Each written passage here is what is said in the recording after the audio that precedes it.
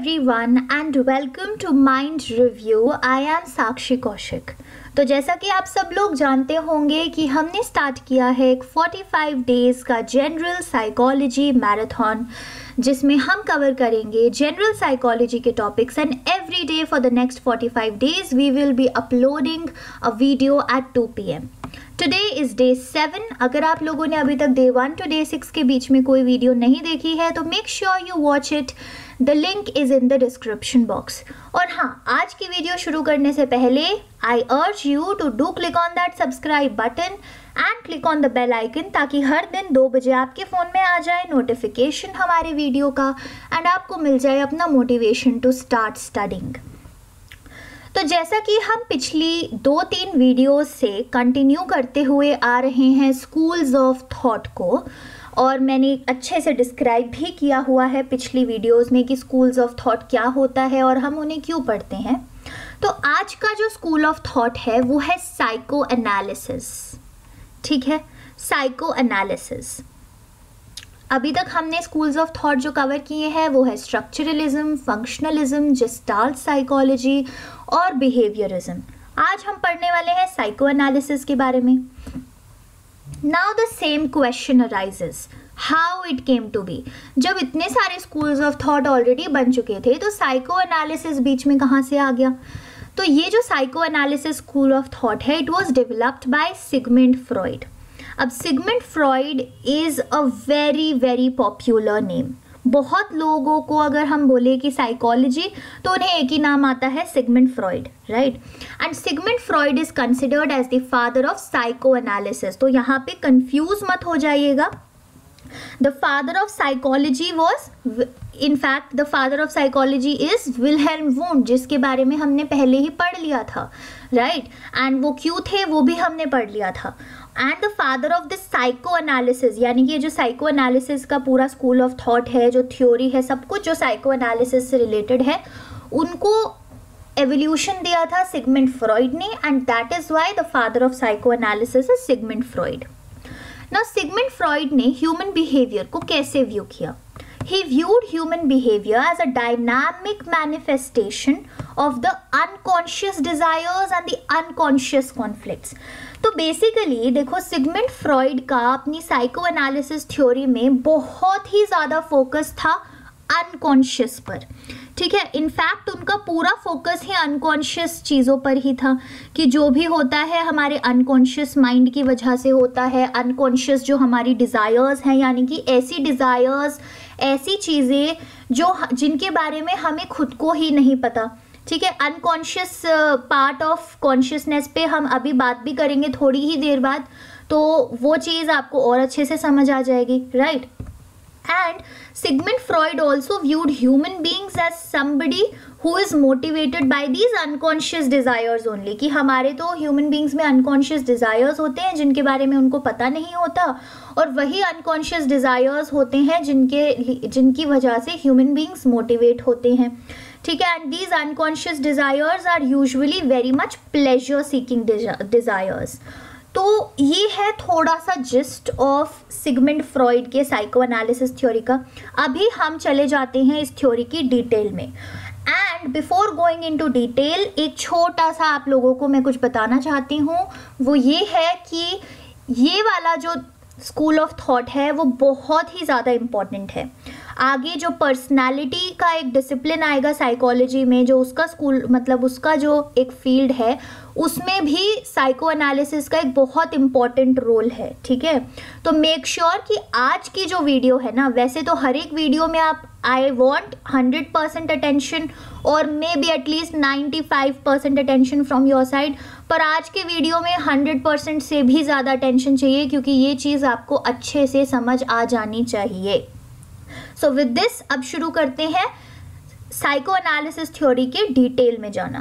Now अब psycho analysis की theory ये जो फ़ोटो है, ये है सिगमेंट फ्रॉइड की the founder of psycho analysis ठीक है? नाउ साइको एनालिसिस में तीन चीज़ें हम डिस्कस करेंगे levels of consciousness structure of personality and ego defence mechanisms ये तीन चीज़ें हैं जिनको आज हम बड़े ही डिटेल में डिस्कस करने वाले हैं।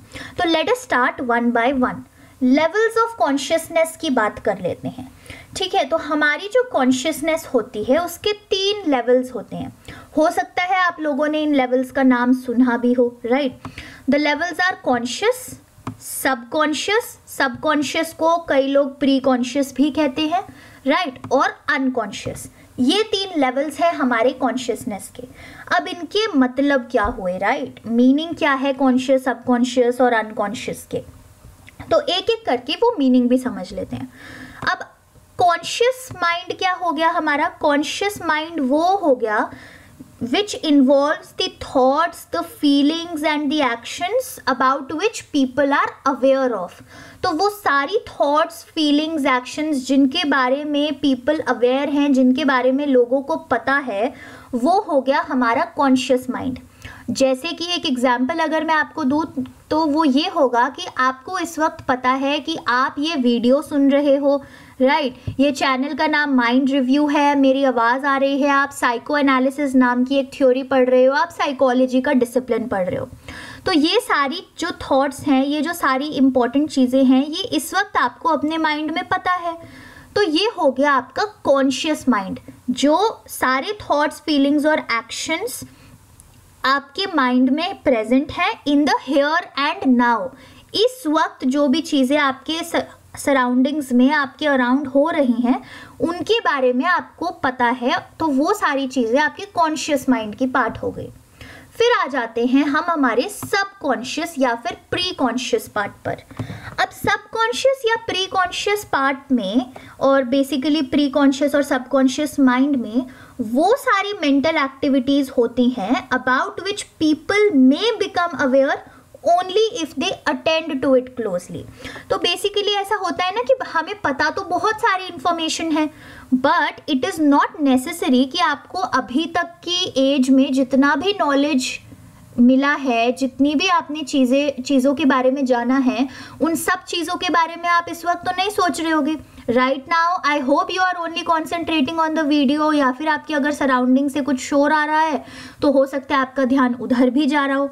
तो वो जो आपका हेयर एंड नाउ है, वो तो कॉन्शियस का पार्ट हो गया, ठीक है पर वो सारी चीज़ें जो आपके माइंड में प्रेजेंट है, जो आपको जिनके बारे में पता है, पर इस वक्त आप उन चीज़ों के बारे में नहीं सोच रहे you are not thinking about those things right now but you know about it and you will also become aware about it if you attend to it closely अब इसका भी एक छोटा सा एग्ज़ाम्पल दे देती हूँ मैं राइट right? अच्छा ये बताओ कि ए बी सी डी इसके बाद क्या आता है? जो हमारे अल्फ़ाबेट्स होते हैं A B C D D के बाद कौन सा अल्फ़ाबेट आता है? आई होप आपने बोल दिया होगा कि डी के बाद तो ए आता है ये तो बड़ी सिंपल सी चीज़ है तो किसी भी बच्चे को पता होता है मेरे से क्यों पूछ रहे हैं? सो so, एक छोटा सा क्वेश्चन ये है कि क्या आप अभी ये वीडियो सुनते वक्त अल्फ़ाबेट्स के बारे में सोच रहे थे? क्या आप सोच रहे थे कि मुझे A B C D F G H वगैरह आता है या नहीं आता? No no, right right? आप नहीं सोच रहे थे इन अल्फ़ाबेट्स के बारे में। बट ये जो इन्फॉर्मेशन है कि ए बी सी डी के बाद ई e आता है फिर F G and so on and so forth ये इन्फॉर्मेशन आपके माइंड में तो प्रेजेंट है ही है ना? तो लेकिन आप इसके बारे में सोच नहीं रहे थे बट जैसे ही मैंने आपसे ये क्वेश्चन पूछा तो you became aware about this alphabet thing तो सबकॉन्शियस माइंड में बेसिकली वो सारी इंफॉर्मेशन होती है जो हमें जिसके बारे में पता होता है बट उन चीज़ों के बारे में हम currently in the here and now नहीं सोच रहे। तो ठीक है, ये एग्ज़ाम्पल आपको मैंने इसीलिए दिया ताकि आप इस चीज़ को लाइफ टाइम के लिए याद रखें कि कॉन्शियस क्या हो गया सबकॉन्शियस क्या हो गया। अब फाइनली आ जाते हैं हम हमारे अनकॉन्शियस पार्ट पर। अनकॉन्शियस पार्ट वो पार्ट है साइको एनालिसिस थ्योरी का, जिसपे सिगमेंट फ्रॉइड ने बहुत ही ज़्यादा फोकस किया हुआ है। तो अकॉर्डिंग टू सिगमेंट फ्रॉइड हमारा जो अनकॉन्शियस पार्ट होता है, उसमें वो सारी मेंटल एक्टिविटीज़ होती हैं about which people are totally unaware of लोगों को बिल्कुल भी नहीं पता होता कि अनकॉन्शियस माइंड में क्या चल रहा है। तो basically unconscious mind is storing all the ideas all the desires, all the wishes that are concealed or that are hidden from your conscious awareness and even your subconscious awareness. तो उन सारी चीज़ों जिनके बारे में आपको बिल्कुल भी नहीं पता वो सारी चीज़ें जो आपने कहीं अपने दिमाग में दबा दी रिप्रेस कर दी सारी मेमोरीज वो सारी स्टोर्ड होती हैं हमारे अनकॉन्शियस लेवल ऑफ़ कॉन्शियसनेस में तो ये है three levels of consciousness conscious which is the here and now subconscious वो अल्फ़ाबेट्स वाला एग्ज़ाम्पल याद रखिएगा हमेशा कि वो चीज़ें all those activities about the mental activities about which you can get aware only if you attend to it closely. And unconscious has all the mental activity that you are totally unaware of. और जो हमारी Sigmund Freud की psycho analysis theory है psycho analysis school of thought है, उस पर unconscious पे बहुत ज़्यादा फोकस दिया हुआ है और अनकॉन्शियस का एक बहुत ही ज़्यादा बड़ा रोल भी है। ठीक है तो these are the three levels of consciousness अब हम दूसरी इंपॉर्टेंट चीज़ के बारे में बात करते हैं। द स्ट्रक्चर ऑफ़ पर्सनैलिटी ठीक है? तो स्ट्रक्चर ऑफ़ पर्सनैलिटी में सिगमेंट फ्रॉइड ने तीन चीज़ें, तीन चीज़ों के बारे में बताया है। Id ego and super ego ये जो रेड चीज़ों में तीन बुलेट पॉइंट्स हैं id ego and super ego ये तीन चीज़ों के बारे में सिगमेंट फ्रॉइड ने बताया है in the structure of personality अब हम इन तीनों चीज़ों को एक एक करके ज़रा डिस्कस कर लेते हैं। तो लेट इस फ़र्स्ट बिगिन विद इड तो ये जो इड है I D id it is based on the pleasure principle ठीक है? हर एक स्ट्रक्चर ऑफ़ पर्सनैलिटी किसी ना किसी प्रिंसिपल पर बेस्ड है। तो इद स्ट्रक्चर ऑफ़ पर्सनैलिटी हमारा प्लेजर प्रिंसिपल पर बेस्ड है। और ये जो ये जो स्ट्रक्चर ऑफ़ पर्सनैलिटी है it deals with immediate gratification of needs. Immediate gratification of needs क्या हो गया? जैसे एक छोटा बच्चा देखा है आपने कभी? बिल्कुल you know maybe four या फाइव मंथ्स का बच्चा या वन मंथ का बच्चा, अगर उस बच्चे को भूख लगती है तो वो बहुत तेज़ तेज़ रोता है और मतलब जब तक उसको उसका फ़ूड उस वक्त, उस स्टेज में बच्चों का फ़ूड इज़ मिल्क राइट तो जब तक उस छोटे से बच्चे को अपना फ़ूड यानी कि मिल्क नहीं मिल जाता तब तक वो बच्चा बहुत तेज तेज रोता रहता है। सो so, क्यों रोता रहता है? क्योंकि उसको जो उसकी नीड है यानी कि उसको जो भूख लग रही है उसकी इमीडिएट ग्रेटिफिकेशन करानी है। इमीडिएटली उसे अपनी भूख खत्म करानी है और इमीडिएटली उसको अपना खाना चाहिए। सो so, इट जो है this is based on your pleasure principle right ये डील करता है कि हमारी जो नीड्स हैं वो इमीडिएटली अकम्प्लिश हो जाए और ये जो इड है वो बिल्कुल भी केयर नहीं करता फॉर द मॉरल वैल्यूज़ और फॉर द सोसाइटी जैसे कि ये छोटा बच्चा है सपोज़ हम किसी ऐसी जगह पे गए हैं जहाँ पे साइलेंस चाहिए. फॉर एग्ज़ाम्पल लाइब्रेरी में कोई उस बच्चे को लेके चला गया बट उस बच्चे को उस मोमेंट पे भूख लगाई. So that small kid wouldn't care for the society's values या मॉरल्स की यू नो लाइब्रेरी में तो चुपचाप रहना चाहिए या बाकी लोगों को डिस्टर्ब होगा. वो बच्चा उन चीज़ों की केयर नहीं करता। क्यों? Because that small kid during that time of his or her age is working on the id structure of personality जिसमें वो प्लेजर प्रिंसिपल पे काम करे कि जो भी भाई मेरे को नीड्स आ रही है, उसका इमीडिएट ग्रेटिफिकेशन चाहिए मुझे। I do not want to wait for even one second तो ये हो गया आपका इड स्ट्रक्चर ऑफ़ पर्सनैलिटी फिर हम आ जाते हैं सेकेंड वाला, जो कि है ईगो ये जो ईगो स्ट्रक्चर ऑफ़ पर्सनैलिटी है this is based on your reality principle ठीक है, ये है हमारा रियलिटी प्रिंसिपल पर बेस्ड और ये ego is a sort of a balance between id and super ego तो ये जो इड है नंबर वन पे और सुपर ईगो है नंबर थ्री पे, इन दोनों का बैलेंस बना के चलता है ईगो जो कि बेस्ड है हमारे रियलिटी प्रिंसिपल पे. तो ईगो बेसिकली क्या करता है कि ईगो भी जो इंडिविजुअल की जो भी नीड है, जो भी डिज़ायर्स हैं, उनको सेटिस्फाई तो करता है ईगो भी बट वो ऐसे सेटिस्फाई करता है कि जो रियलिटी है, उसके अकॉर्डेंस में हो। यानी कि लाइब्रेरी में अगर भूख लगाई तो इतना तेज रोना नहीं चाहिए क्योंकि बाकी लोग डिस्टर्ब हो जाएँगे। तो ये ईगो बोलेगा कि इतना तेज नहीं रोना चाहिए क्योंकि लोग डिस्टर्ब होंगे बट आपको फ़ूड मिलेगा। तो ego is basically working on reality principle trying to manage जो इड का इमीडिएट ग्रेटिफिकेशन है और जो सुपर ईगो का ग्रेटिफिकेशन है, उन दोनों को मैनेज करता हुआ इड चल, ये ईगो चलता है और ईगो जो है, हमारे इड को डायरेक्ट करता है towards working in more appropriate ways towards behaving in more appropriate ways थोड़ा पेशेंटली बिहेव करना, थोड़ा रीजनेबली बिहेव करना राइट right? ये हो गया हमारा ईगो अब आ जाते हैं थर्ड वाले पे जो कि लास्ट वाला है वो है सुपर ईगो अब सुपर ईगो हमारा काम करता है मोरालिटी प्रिंसिपल पे. यू you नो know, जो बिल्कुल सोसाइटी के मॉरल्स को फॉलो करने वाली चीज़ें हो जाती है जो एथिक्स फॉलो करने वाली चीज़ें हो जाती है सोसाइटी की उस पर बेस्ड है हमारा सुपर ईगो तो ये है हमारी the three structures of personality id ego and super ego अब मुझे ऐसा लग रहा है कि शायद आपको ये बहुत अच्छे से क्लियर नहीं हुआ है तो इसीलिए I want to give one more example अब क्योंकि हमने एड ईगो सुपर ईगो तीनों डिस्कस तो कर लिया है कि इनका मतलब क्या होता है, पर एक छोटा सा और एग्ज़ाम्पल मैं दे के समझाना चाहती हूँ because this is really very important concept जो आपको क्लियर होना चाहिए। तो एक छोटा एग्ज़ाम्पल समझते हैं। सपोज़ क्लास है, ठीक है? क्लास ऑफ़ फिफ्टी स्टूडेंट्स और टीचर है। स्कूल इमेजिन करो स्कूल का क्लासरूम ठीक है, वहाँ पे approximately forty to fifty students बैठे हुए हैं और उसी में से एक स्टूडेंट और बैठा हुआ है और टीचर अपनी क्लास में पढ़ा रही है। तो उसमें, उस क्लास में से एक स्टूडेंट को बहुत ज़्यादा प्यास लगती है। पानी पीने का उस स्टूडेंट का बहुत ज़्यादा मन होता है बट उसकी जो वाटर बॉटल है, वो उसमें पानी ख़त्म हो जाता है। तो वो बच्चा सामने टीचर की टेबल पे, टीचर की जो वाटर बॉटल है, वो रखी हुई देखता है। ठीक है? ध्यान से सुनिएगा। वो जो बच्चा है, जिसको बहुत तेज पानी की प्यास लगाई, वो सामने टेबल पे देखता है कि टीचर की वाटर बॉटल रखी हुई है। अब उस सिनारियो में वो बच्चा क्या रिएक्शन देगा according to id ego and super ego वो हम ज़रा डिस्कस कर लेते हैं। अगर वो बच्चा इड के स्ट्रक्चर ऑफ़ पर्सनैलिटी पे काम करेगा। So what that child would do is वो उसको बहुत ज़्यादा प्यास लगी है पानी की, उसको सामने टीचर की बॉटल दिखाई दे रही है।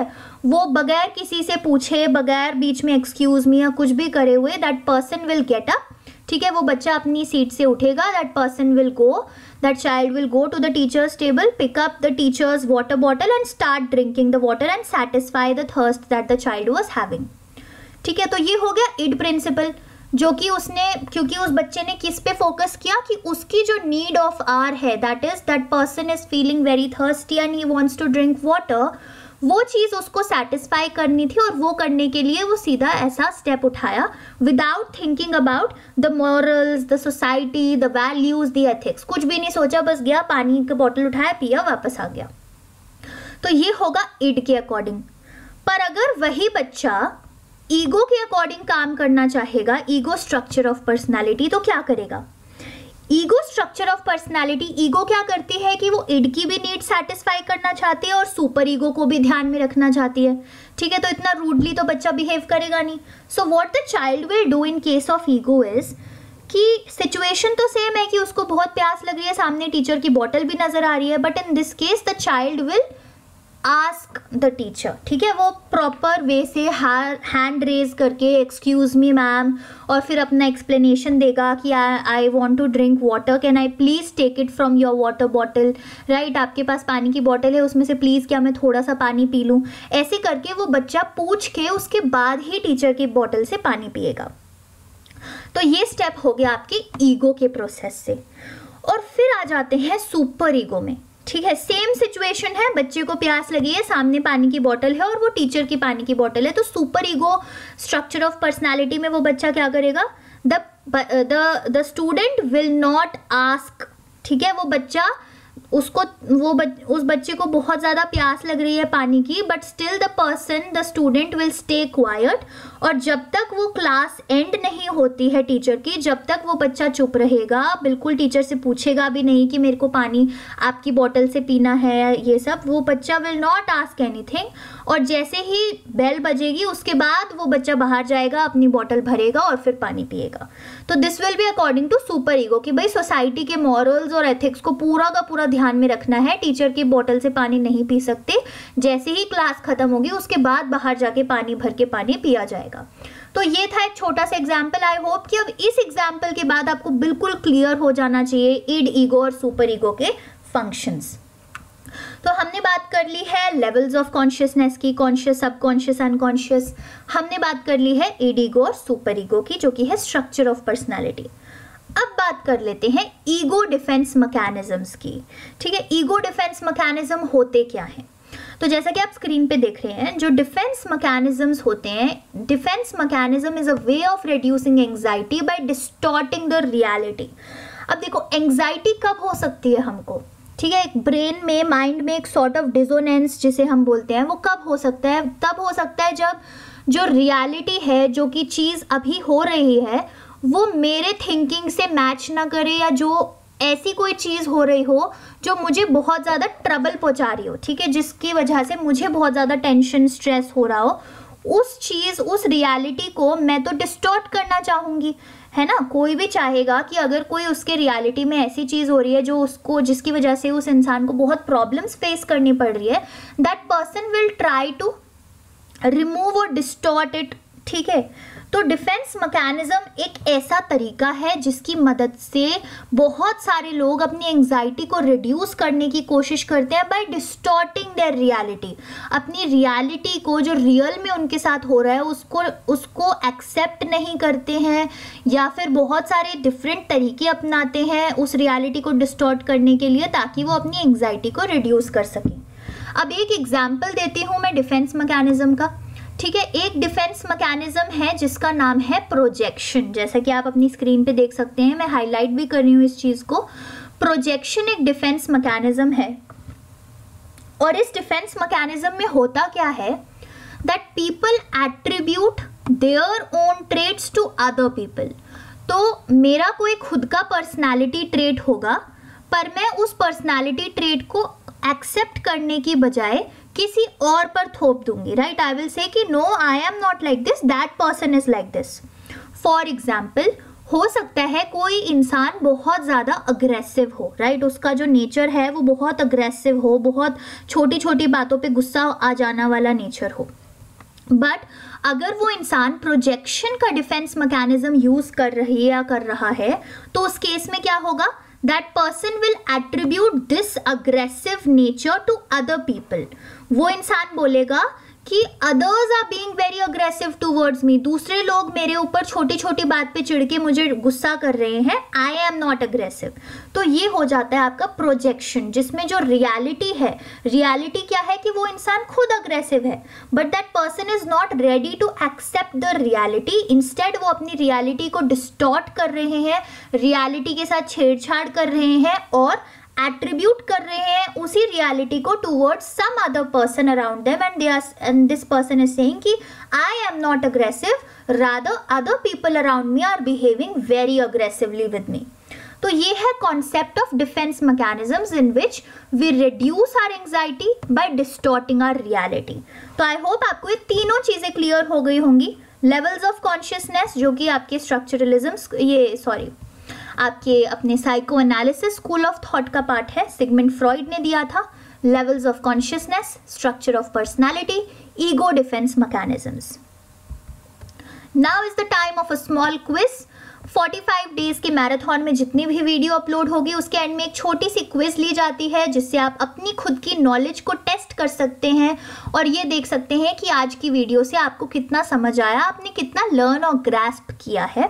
सो मेक श्योर कि आप इस क्विज को ऑनेस्टली अटेंड करें राइट right? क्योंकि आपको देखना है कि आपने कितना लर्न किया, ना कि गूगल या आपकी बुक्स ने कितना लर्न किया राइट right? तो आप इस टेस्ट को प्लीज़ ऑनेस्टली दीजिएगा try to answer at your own pace जब भी आपको लगे कि आपको पूरी वीडियो अच्छे से समझ आ चुकी है, तभी इस टेस्ट को देना शुरू कीजिएगा अपने पेन और पेपर पेन और कॉपी को साथ रखिए, अपने आंसर्स लिखिए। छोटे छोटे फिलअप और ट्रू फॉल्स टाइप क्वेश्चन है। दो तीन मिनट से ज़्यादा टाइम नहीं लगना चाहिए इसको आंसर करने में। एंड जब आप अपने पेपर में नोटबुक में आंसर्स लिख लें, उसके बाद अपने करेक्ट आंसर्स को डिस्क्रिप्शन बॉक्स में दिए गए आंसर्स के साथ चेक कर सकते हैं।